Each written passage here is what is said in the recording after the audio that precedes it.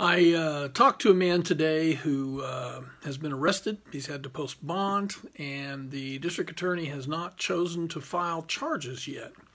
Uh, his first court date, uh, his arraignment, uh, is coming up, and uh, he wanted to know how long the district attorney had before they could before they had to file charges on him because he didn't like not knowing what was going to happen.